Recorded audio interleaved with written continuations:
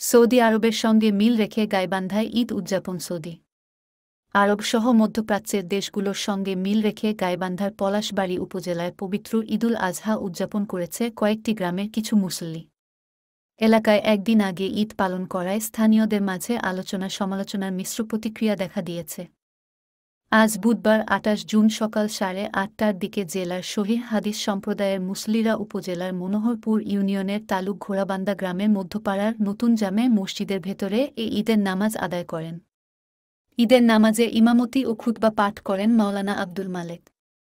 সকাল থেকেই জেলার সদর উপজেলার ফলিমারি, দুর্গাপুর, শ্যামপুর, সুন্দরগঞ্জ উপজেলার রাজীবপুর গ্রামসহ বিভিন্ন এলাকা থেকে হেঁটে বাইসাইকেল, মোটরসাইকেল সহ নানা যানবাহন যোগে তালুক ঘোড়াবান্ধা মধ্যপাড়ায় জড়ো হতে থাকে।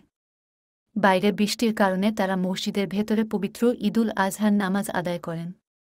ঈদের জামাতে জেলার বিভিন্ন এলাকা থেকে আসা অর্ধশত মুসল্লি এতে অংশ নেন। নামাজ শেষে মুসল্লিরা যথা নিয়মে ঈদের আনন্দ ভাগাভাগি করে একে অপরকে জড়িয়ে ধরে কোলাকুলি করেন। নামাজ শেষে তারা পশু কোরবানি দেন। নামাজে আসা সুন্দরগঞ্জ উপজেলার দক্ষিণ রাজীবপুর গ্রামের সাইদুল বলেন, সৌদি আরবের সঙ্গে মিল রেখে ঈদের নামাজ পড়তেই আজ সকালে এখানে আসছি। সবাই মিলে ঈদুল আজহা আদায় করলাম। এভাবেই আট বছর ধরে ঈদ ও কোরবানি করে আসছি।